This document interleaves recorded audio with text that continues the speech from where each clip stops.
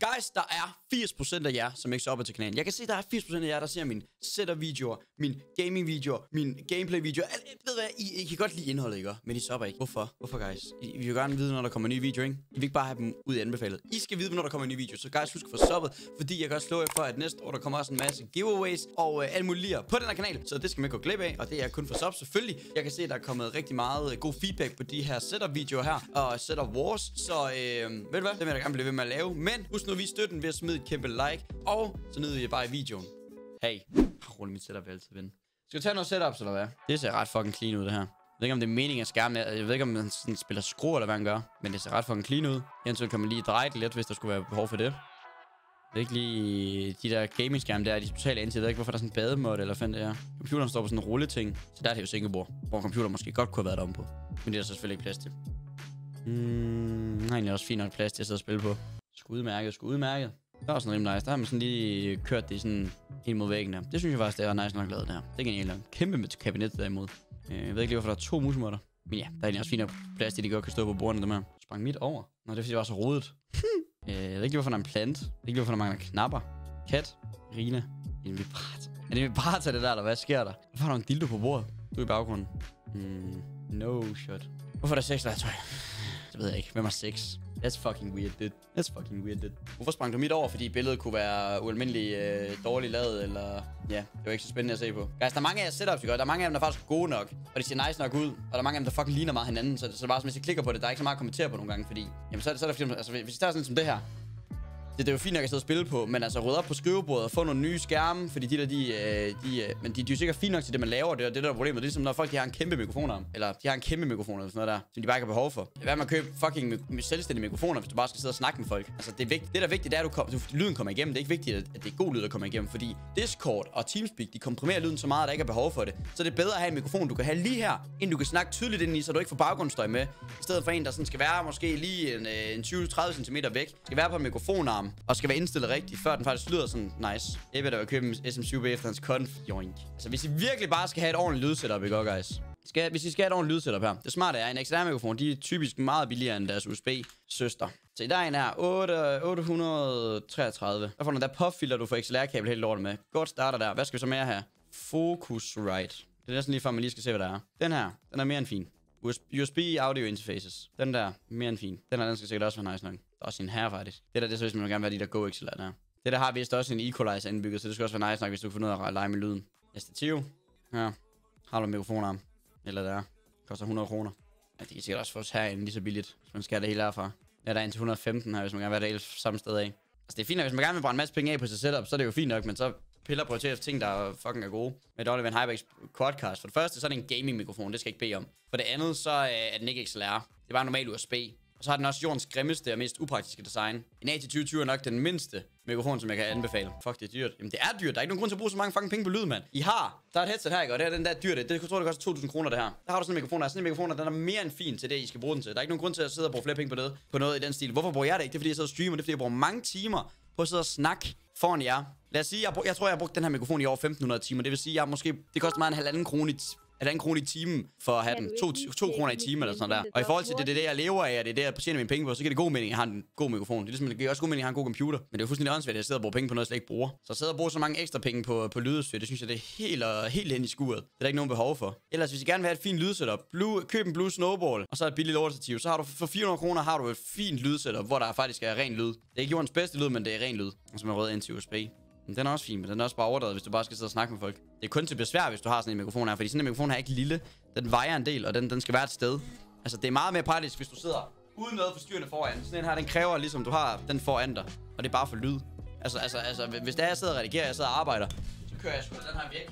Så sidder jeg sådan her og arbejder. Altså, der er ikke nogen grund til at have den der lige i skærmen, jo så meget, at købte en podcast, alle mine venner sagde, at den lød dårligt lige meget, hvordan jeg indstillede den. Men det har noget, det har noget at gøre med, hvor du stiller den hen også. Når der, den, den lyder sikkert fint nok, men det er bare, du skal ikke have en gaming-mikrofon. Altså, når, når, ordet gaming kommer ind foran, så, så koster det tingene automatisk 300 kroner mere. Der synes jeg ikke nogen point i. Jeg kan måske lige forstå, på tastatur og mus giver det fint nok mening. Fordi en mus, den skal gerne være sådan, at den har ligesom gaming-ting øh, sådan i overvejelse, så den vejer lidt.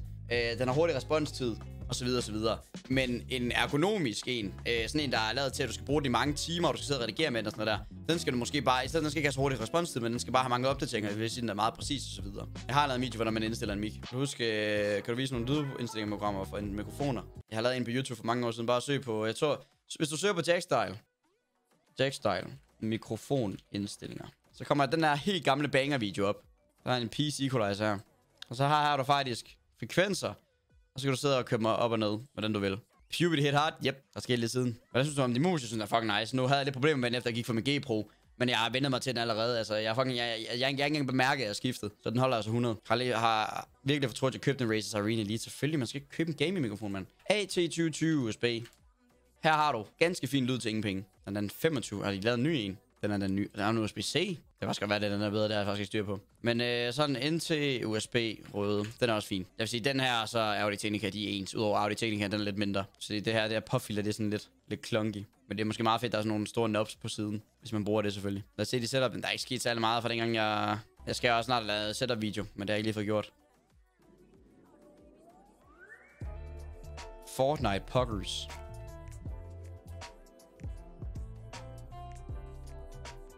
Der kom nye ting siden da.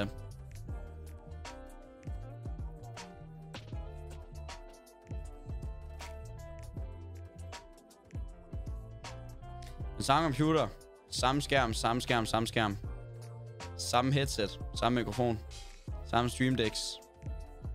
Du viser det næsten i din setup-video med færgedækken setup-video, men ja, der viser meget. Jeg går bare ikke i detaljer med det. Gaming chairs eller eco chairs, eco chairs, jeg vil bare ikke lige få styr på nogen. Hvis man skal have sådan en rigtig business, en koster de sådan 15.000 og sådan noget der. Body monsterstol. Øhm, den er faktisk ud i bilen, tror jeg. Jeg har aldrig fået den ind igen. Skal vi lade sætte review, eller hvad? Altså, vi kan godt. Jeg, jeg siger det bare igen. Jeg gider ikke have, at nogle små børn, de sidder og græder over, at jeg sidder og roaster deres 20.000 kroners RGB setup. Fordi at, øh, jeg synes, at det er noget lort. De har noget cable management, der bare er fucking puka. Jeg skal sende et godt billede, chat. Jeg gider ikke jeres fucking øh, øh glowing in the dark øh, stick fotos. Nå, skal vi se først setup her.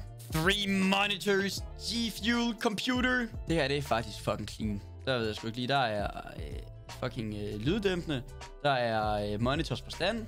Der er rigelig en plads til mus og keyboard, trådløs headset, mikrofonarm. Og den der jordens mindste bord, han har at gøre med, så det er også fedt lavet. Han har computeren over på en, øh, et separat sted, så han ikke kommer til at gøre noget med den. Der er højtaler. Det ser fucking nice ud. Fucking, fucking sweet ass, det der. Og guys, jeg hopper nogen af jer over, fordi I tager simpelthen så ringe bedre. Prøv at se det her. En engang se, hvad der foregår. Kan du ikke lige tænde noget lys? Ved op på dit skrivebord. Øh, få en skærmholder eventuelt. Øh, fix kabler. Jeg ved ikke lige, hvorfor der skal være øh, mere plads til din, øh, din keyboard end din mus. Øh, jeg ved ikke lige, hvor det der kabel for den der blues mikrofon der, den går hen. Toblerone 10, præcis. Så har vi her. Det er et lille, lille gamerhjørne. Der er nogle flotte RGB-lys. Det er nice. Der er rigtig musemodplads. Det er også nice. Der er ikke så mange kabler i hvert fald til at se her.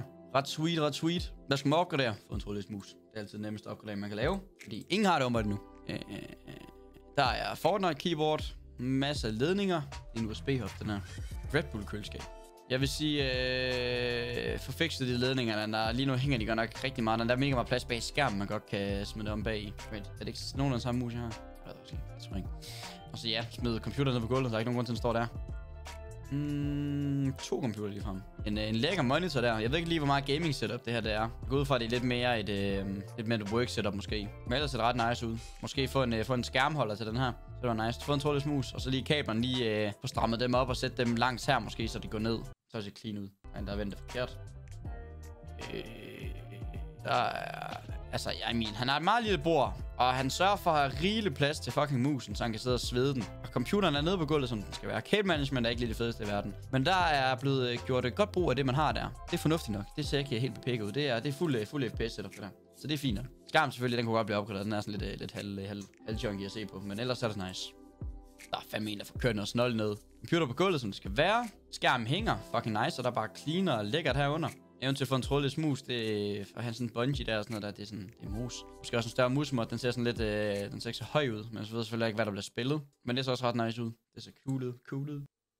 Øh, nu ved jeg så ikke lige, om det er det, han tager eget, men øh, tre skærme, mus, keyboard, nice. Har sådan en dæk under der, det, det, det er ret lækkert det der, hvis de er det eget, det vil jeg sige. Men øh, det, det, det ser fucking clean ud der. Der, der skulle tænke over det. Måske lige det der kabel der. Men ellers er det jo næsten fucking så clean, det simpelthen kan blive. Men der er ikke særlig, det er ikke særlig gamingvenligt i hvert fald. Det er lidt mere sådan, at man bare sidder casual og sidder og, og laver musik måske eller sådan noget.